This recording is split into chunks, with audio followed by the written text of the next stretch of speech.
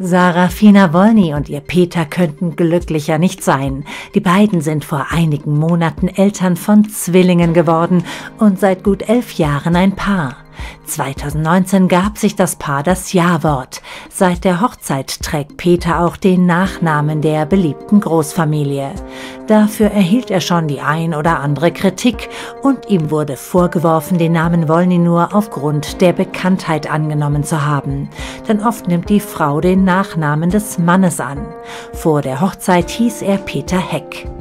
Zu diesen Vorwürfen äußerte sich Sarafina nun vor kurzem in ihrer Instagram-Story und nahm ihren Ehemann in Schutz. Er hat den Namen angenommen, weil es mein Wunsch war. Und am Ende des Tages hat die Liebe gesiegt, so Sarafina. Dass es bei den beiden um wahre Liebe geht, beweist nicht nur die lange Zeit, die Sarafina und Peter schon zusammen sind. Immer wieder machte die Wolny-Tochter ihrem Mann süße Liebesgeständnisse auf Instagram. Ich liebe dich wie am ersten Tag, sogar noch mehr. Es ist perfekt so, wie es ist. Wir sind vollständig, schwärmte die Zweifachmama einst. Kurz nach ihrer Hochzeit holte sich das Paar tierischen Nachwuchs mit Zwergspitzfeivel. Damals verriet Sarafina, dass sie sich zwei eigene Kinder wünsche und sogar eine Adoption plane.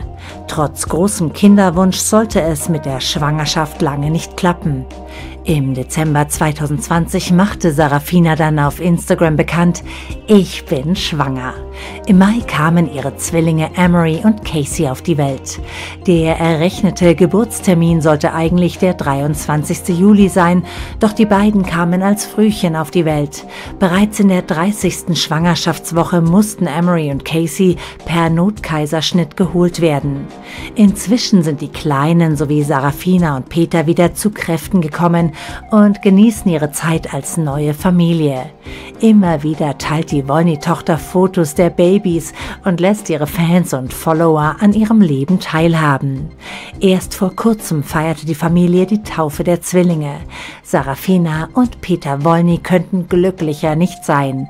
Endlich ist ihre Familie komplett und die beiden sind dankbar für jede Sekunde.